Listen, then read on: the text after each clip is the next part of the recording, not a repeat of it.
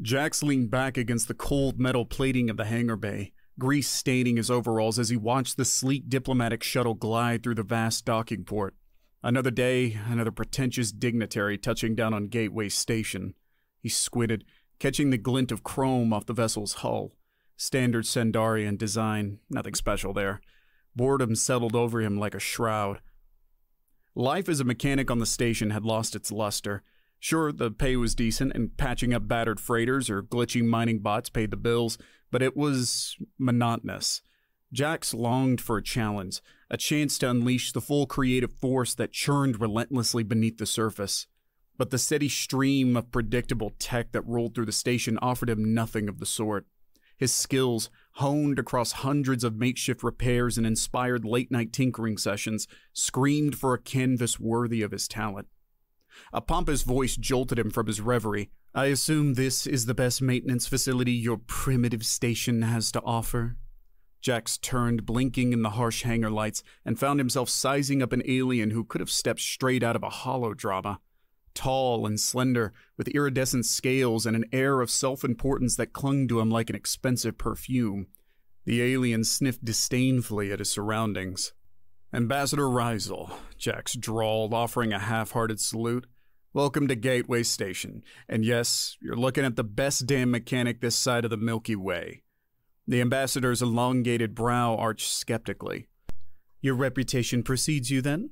I must confess, I've never heard the name Jackson Varen mentioned in the galactic engineering circles I frequent. Jax shrugged, biting back a wry retort. Small time mechanics on backwater space stations didn't tend to get invited to those sorts of parties. Word travels slow, at Ambassador. Now, about your shuttle. Ambassador Rizel gestured dismissively towards the gleaming vessel. A minor engine calibration is required. I trust this is a task your rudimentary tools can handle. Jax's fingers twitched. Rudimentary? He'd show this pompous gasbag what rudimentary could do. A mischievous grin spread across his face. Calibration, huh? You got a few hours to spare, Ambassador? Because I have a feeling that shuttle of yours could use a little more than just a tune up. Ambassador Rizel narrowed his eyes, suspicion evident in the tightening of his jawline. I have important negotiations scheduled. I cannot afford unnecessary delays. Relax, Ambassador, Jax chuckled. I'm not talking about a complete overhaul, just, you know, a few tweaks, improvements. The ambassador's skepticism deepened. Improvements? Xandarian vessels are the pinnacle of engineering. What could a human mechanic possibly offer? Jax bristled, pride stinging at the dismissive tone. He was tired of humans being treated like backwater primitives, but instead of lashing out, he forced his features into a mask of nonchalance. How about a friendly wager, Ambassador? Give me three hours with your shuttle. If it doesn't impress you, well, I'll clean every air filter on this station for free. Now it was Rizel's turn to grin, a flash of sharp teeth that made Jax's skin crawl. Very well, human. I accept your challenge. But if you fail to enhance my vessel, your species' reputation shall suffer the consequences. A shiver ran down Jax's spine. The galactic powers held a precarious balance, and any slight, real or perceived, could have devastating ripple effects. But he met the ambassador's gaze with unwavering confidence. Deal. With a flourish, Ambassador Rizel handed over a security code that granted access to the shuttle's systems. Do not disappoint me, Jackson Varen, he hissed, a hint of anticipation now mingling with his disdain. Or perhaps the rumors of human inferiority hold more truth than I suspect. As the ambassador swept away, Jax felt a surge of both excitement and trepidation. This wasn't just about proving his skills anymore, it was about demonstrating the hidden brilliance of humanity. Rubbing his grease stained hands together, he strode towards the shuttle, his mind racing with possibilities. The hangar doors sealed behind him, plunging him into semi darkness punctuated by the soft glow of the shuttle's internal lights. Jax ran a hand along its smooth, aerodynamic hull, a sense of awe washing over him despite the ambassador's arrogance. Xandarian tech was undeniably elegant, but beneath that sleek surface, Jax saw untapped potential. It was time to unleash it. Jax wasted no time. Bypassing the standard diagnostics, he tapped directly into the shuttle's core operating system. To the untrained eye, it would be a dizzying jumble of code, a complex and near incomprehensible language. But for Jax, it was a beautiful mess waiting to be rearranged into a symphony of mechanical mastery. His fingers danced across an old interface pad, ancient text scavenged from a derelict freighter. He worked with a frantic energy, fueled by the thrill of the challenge and the sting of Reisel's insult. This wasn't just tinkering, it was a duel, a battle of wits and ingenuity. First, the power core. Xandarian engines were known for their efficiency, but they lacked raw aggression. Drawing inspiration from the patched up mining bots he'd repaired countless times, Jax overhauled the energy distribution protocols, pushing the limits of what the hardware could safely handle. This alone would shave minutes off standard travel times. Next, the navigation systems. While Xandarian ships boasted cutting edge mapping software, their algorithms were often rigid and overly cautious. Jax dug into his toolbox, unearthing a custom built AI subroutine he'd designed on a rainy afternoon just for the fun of it. It was experimental, unpredictable, and probably a very bad idea under normal circumstances, but this was no normal flight. He spliced his AI into the navigation grid, the shuttle's systems momentarily stuttering in surprise at the unexpected intrusion. With a mischievous grin, Jax coaxed his creation to life.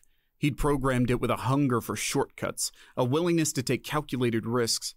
The resulting hybrid system was as alien to the shuttle as it was to him, a thrilling and potentially volatile mix. Time was slipping away. Jax dove into the weapon systems, more out of a habit than any intent of truly arming the shuttle.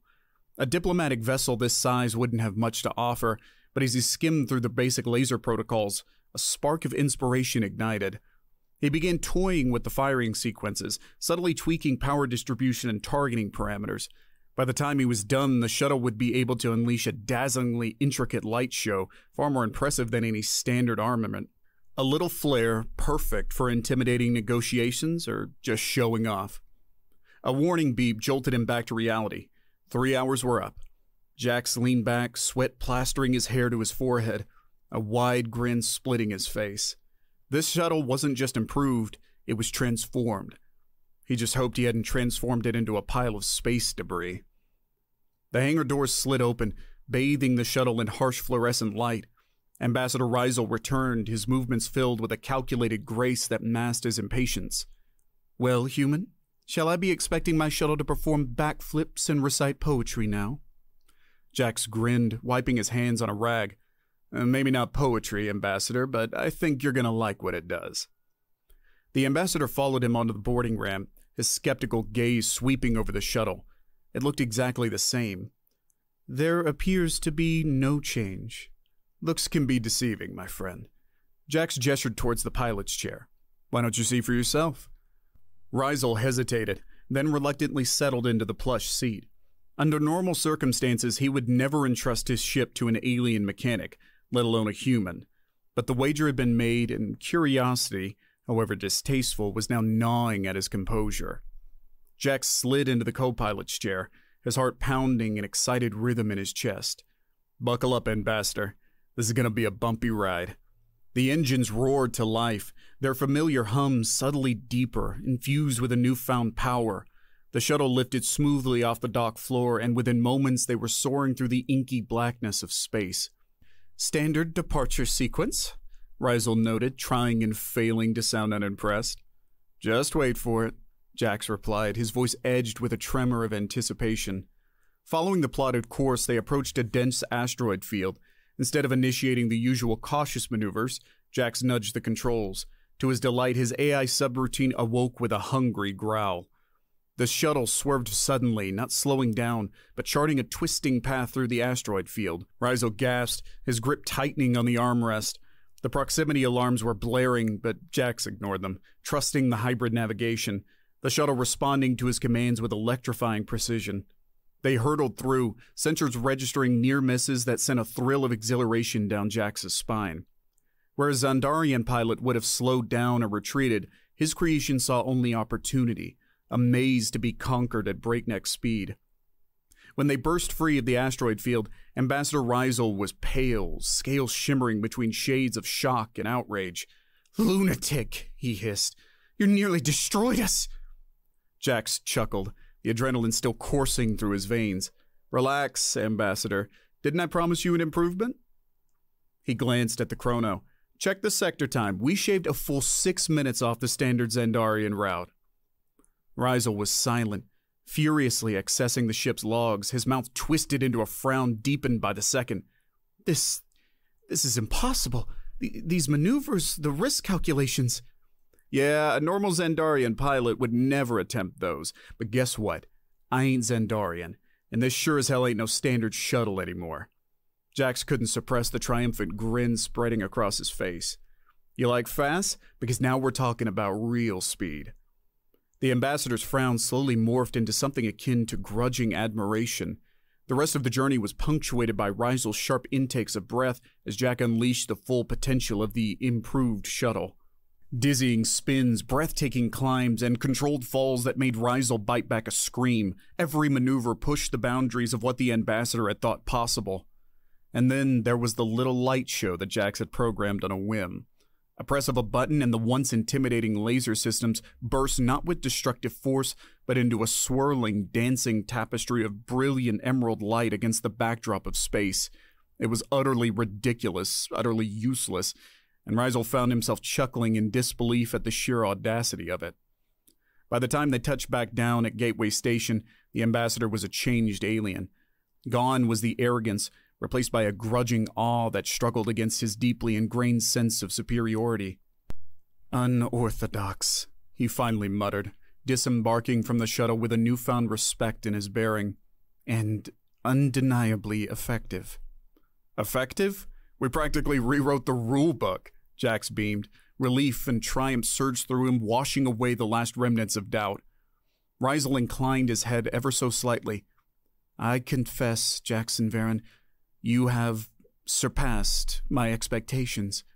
There was a subtle shift in his voice, a tentative dropping of the earlier disdain. My apologies for underestimating human ingenuity. Jax's victory grin faltered. Apologies? Man, you don't even know what you've done. A flicker of curiosity crossed the ambassador's face. What do you mean? Jackson leaned against the now gleaming hull of the shuttle, you think this is just about you getting some hotshot pilot moves, don't you? Don't you see what this means on a bigger scale? The words tumbled out of him, propelled by the years of stifled frustration and restless dreams. This is about collaboration, Ambassador. What if Xandarian tech met human ingenuity on every level? Imagine the ships we could build, the problems we could solve, together. Rizal stood silent, his iridescent scales reflecting the dim lights of the hangar. Then he did something truly unexpected. He laughed, a harsh barking sound that softened into genuine amusement. You humans, so relentless in your optimism, such boundless, often reckless ambition. The ambassador's gaze settled back on the shuttle, a flicker of something new dancing in his eyes. Possibility. Your proposal has merit, my report to the Xandarian Council shall include an unexpected addendum. Jax couldn't suppress a triumphant whoop. Maybe he hadn't just tinkered with an engine today. Maybe he had tinkered with the future. As he watched the ambassador stride away, back straight and purpose in his step, Jax felt a flicker of that restless energy return. One shuttle, one overconfident alien. That was just the beginning. A whole galaxy of possibilities was just waiting out there, ripe for improvement, begging for a human touch. Now, if he could just convince his new friend Rizal to let him loose on the rest of the fleet. Word of Jax's mechanical genius spread through Gateway Station like wildfire, first in whispers, then in excited chatter echoing through the mess halls and corridors. Initially met with a mix of skepticism and amusement, the rumors were swiftly confirmed. It turned out that Ambassador Rizal's enhanced shuttle wasn't just a hot rod, it was a catalyst fueling a change in the perception of humanity in the vast tapestry of galactic society. Rizal's detailed report to the Xandarian Council painted a surprising picture of audacious innovation and untapped collaborative potential.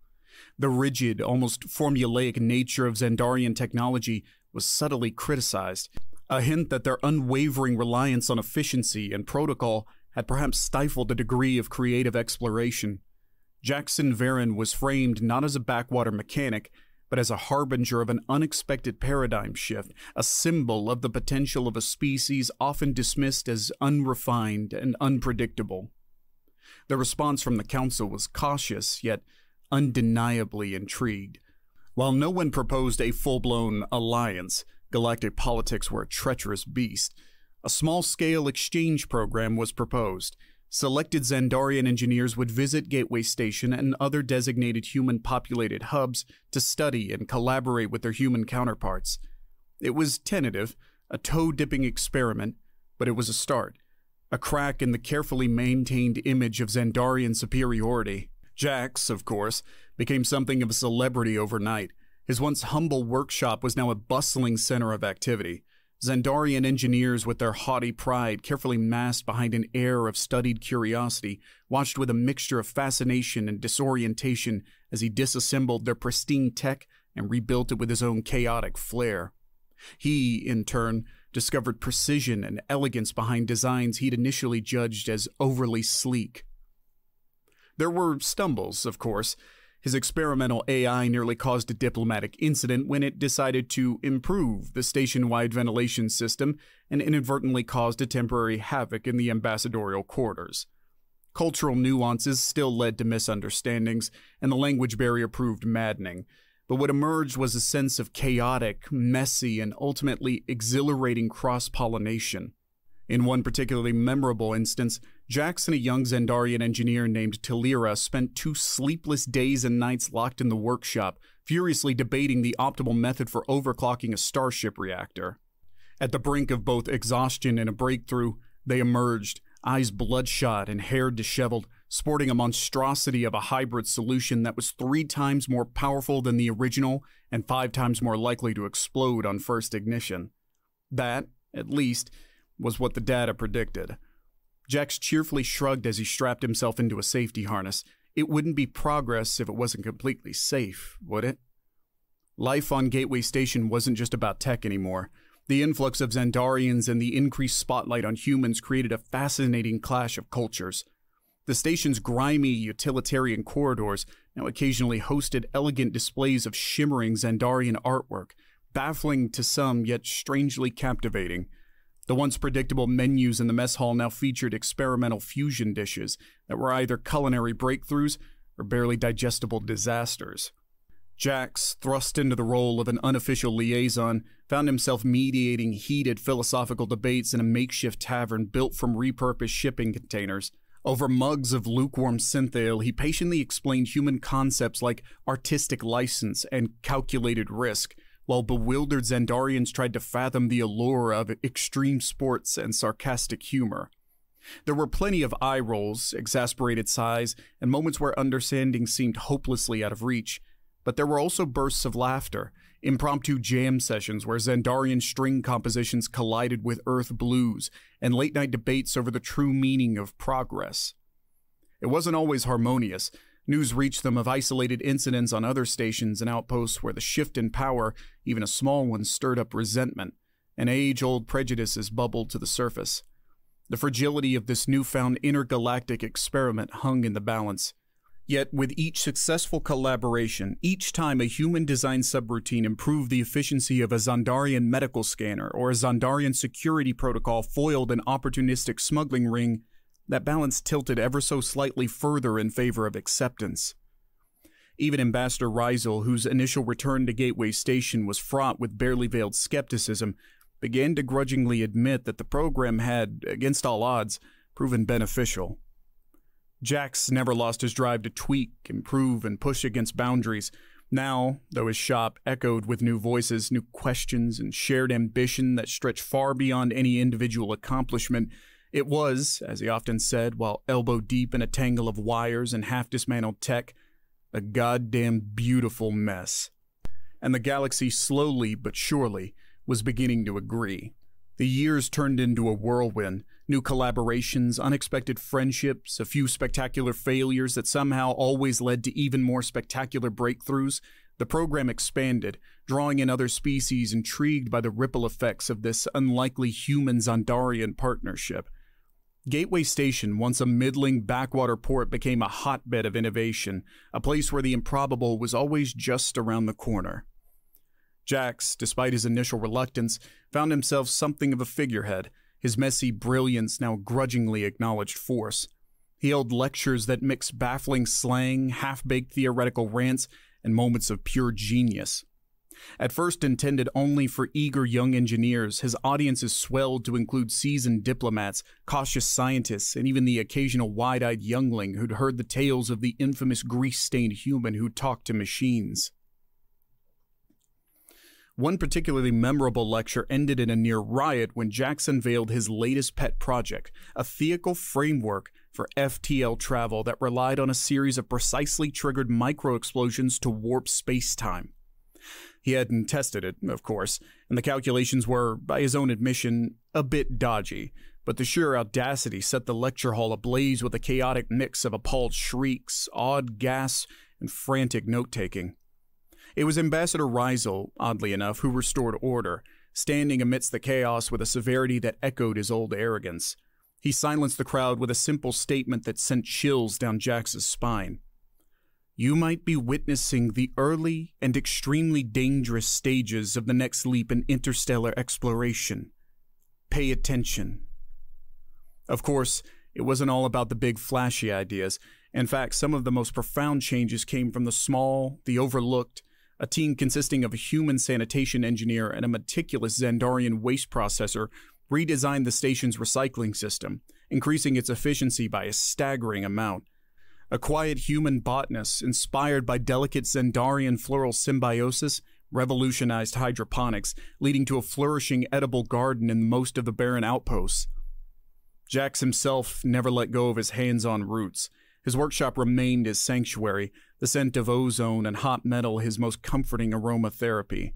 The quiet satisfaction of fixing a malfunctioning food replicator, of coaxing life back into a battered drone, continued to ground him even as he found himself debating theoretical economics with galactic dignitaries. It was a constant reminder no matter how complex things got, sometimes the greatest challenge was simply making something work. Yet amidst the progress, shadows remained. Not everyone shared the spirit of collaboration and the excitement of discovery. Rumors swirled of fringe Xandarian traditionalists, angered by what they saw as a dilution of their technological dominance, and on the other side, opportunistic human corporations eyed the new alliances warily, sensing profit but fearing a loss of control. One day, the tension erupted. A seemingly routine trade delegation arrived at Gateway Station, bearing not exotic goods or promising tech, but a team of highly paid lawyers and a series of chilling demands. Their target? Jax and his workshop. The accusations ranged from reckless endangerment to patent theft, all the way to outlandish claims of inciting galactic instability. The legal jargon washed over Jax like a tidal wave, leaving him cold and disoriented. This wasn't about better engines or faster starships, this was a fight for the very soul of the work he'd done. Ambassador Rysel's scale seemed to darken in fury when he found out. His influence, potent as it was, hit a wall of bureaucracy and backroom deals. The human corporations involved had deep pockets and even deeper connections, pulling strings that stretched far beyond the station. For the first time in years, a chilling sense of despair edged its way into Jax's heart. But he wasn't alone. Without being asked, his workshop overflowed with allies, Xandarian engineers with furrowed brows muttering amongst themselves about legal loopholes and unexpected code vulnerabilities, wide eyed students who'd followed his haphazard lectures and now fiercely jotted down notes with a determined glint in their eyes, and even a few seasoned traders who'd seen firsthand how his tinkering had opened up new opportunities and honest profit. It became clear that this wasn't merely a lawsuit, but a battleground. It was control versus innovation, profit versus potential. For sleepless nights, the workshop became both a refuge and a war room. Papers were parsed, strategies were debated, and a desperate, audacious plan emerged. The day of the hearing dawned, the sterile courtroom a stark contrast to his workshop's organized chaos. The corporation's lawyers, polished and smug, laid out their case with precision. Jax sat hunched, feeling years older, his once vibrant work now threatened to be dissected and confined. And then the tide turned. His scrappy, brilliant, and fiercely loyal team materialized, armed not with legal texts, but with demonstrations. A medical scanner, its life extended threefold with a jury rig patch up job, an improved comm system that could now bypass corporate controlled channels, and finally, a small, unassuming drone that suddenly burst to life with speed and agility far surpassing its original specifications. The courtroom erupted in a symphony of gasps and furiously scribbled notes. The jury's faces shifted from disinterest to astonishment, and the corporation's lawyers stammered, their carefully crafted arguments crumbling in the face of tangible, undeniable results. The hearing was over before it truly began. Jackson, his work, his relentless tinkering spirit had triumphed, not out of legal precedent, but from a bold, heartfelt demonstration of what his kind of brilliance could offer. Victory, though sweet, was fleeting. The lawsuit had been a warning shot, a reminder that the forces of tradition and profit would not fade without a fight. News poured in, sabotage on frontier research stations, Xandarian design tech suddenly malfunctioning on human run installations. The fragile threads of collaboration were fraying, deliberately strained by fear and greed on both sides. Jax felt a familiar restlessness settle upon him. It was more than just the urge to tinker, it was a deep seated desire to protect, to nurture the fragile thing they'd built. The galaxy was on the brink of something remarkable Yet, as always, fear of the unknown held it back. One evening, he found Ambassador Rizel perched precariously in a crate in his workshop, the alien looking both lost and oddly determined. The ambassador's iridescent scales shimmered with a barely concealed worry as he turned a delicate piece of Xandarian sensor tech in his hands. We may have ignited a fire, Rizel murmured, but we have not accounted for the wind. Jax nodded grimly, the weight of responsibility settling heavy on his shoulders. Yeah, he said, and it looks like a big damn storm is brewing. It was the moment, however unspoken, when a bold and perhaps reckless plan began to take shape. It wasn't just about fixing tech anymore or designing faster ships. They needed to change minds, to show both humans and Xandarians and any other doubters out there what unity could achieve in the face of the unknown. There was one way to do it, a feat both monumental and breathtakingly risky, an act of creation that would either cement the fragile alliance or ignite a conflict that would ripple across the stars. They would build a new station, not just an outpost or a trading hub, but a symbol, a shining beacon designed and built collaboratively from the ground up, a testament to the potential of combined brilliance. It would be risky, audacious, and require an unprecedented level of trust, they would be putting not just their work, but their very lives in each other's hands. Yet, amidst the looming storm, it seemed the only path forward. In the weeks and months that followed, Jax found himself not only tweaking engines, but forging connections. Old rivalries were laid aside as brilliant but reclusive Xandarian scientists were coaxed from the pristine labs with the promise of resources and freedom to pursue those implausible ideas.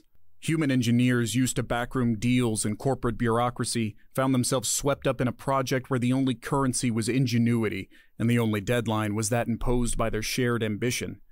The new station, a marvel of interwoven Xandarian elegance and resilient human design, slowly began to take shape on the edge of a remote system, and as it grew, so too did the ripple effects. Fear and suspicion began to ebb, replaced by something else, a desperate, fragile hope. It was a beacon, a declaration, and perhaps their last, best shot at proving that the future wasn't about dominance, but about daring to create something better together. The final stage approached with a heart stopping blend of terror and exhilaration. The new station, christened Horizon with a wry grin by Jax, pulsed with a vibrant life even before it was truly operational. Corridors, once sterile, echoed with the percussive beat of human work songs mingling with the precise hum of Xandarian construction bots. Shared lab spaces thumbed with an energy that crackled, an exchange of perspectives and problem solving that would have been unthinkable just a few years ago. Jax himself was a blur of motion, fixing, recalibrating, and cursing with equal gusto. He spent sleepless nights huddled over schematics with Talira, the brilliant young Xandarian engineer who now moved through the half finished station like she belonged there, her once pristine scales bearing the same telltale smudges of grease and determination. The day of activation dawned, bathing the station in the cold light of a distant star. Jax stood beside Rizel on a makeshift observation platform, the weight of countless eyes, both human and Xandarian, focused on their small patch of metal and wires. We have done the impossible, it seems, Rizal murmured, an unnerving touch of awe in his usually rigid voice. But now, will it work? With a dry chuckle, Jax replied, I don't know about working, but she's sure as hell gonna do something. He triggered the activation sequence. For one agonizing heartbeat, silence stretched. Then, Horizon shuddered into life. Power coursed through its veins, not with a surge, but a roar of defiance a testament to the audacious spirit woven into its very core. Lights flared, systems roared online, and a dazzling shockwave of pure, unfiltered energy rippled outwards, briefly outshining the nearby sun. Monitors across a dozen systems shrieked in protest, then settled into a stunned chorus of blinking lights and disbelieving readings. Scientists clamored, politicians postured, and news feeds blazed with sensationalized headlines declaring either the dawn of a new era or the fiery herald of galactic doom. Amidst the chaos, Jax just laughed. It was a giddy, exhausted laugh filled with the echoes of past failures and the sweet burn of hard won success. Rizal, his scales flashing an unreadable pattern of emotions, slowly nodded and then extended a clawed hand. Jax clasped it without hesitation. A human mechanic and a Xandarian ambassador, their grip sealing a pact forged in grease, ambition, and a stubborn, reckless belief that sometimes, just sometimes, the truly impossible might be within reach. Horizon, flawed, brilliant, and defiantly alive, pulsed against the backdrop of the cosmos. It was a beacon, a dare, an invitation. The galaxy had its answer. Now it was up to the rest of them, human and Xandarian, and whoever else wished to join, to decide what came next.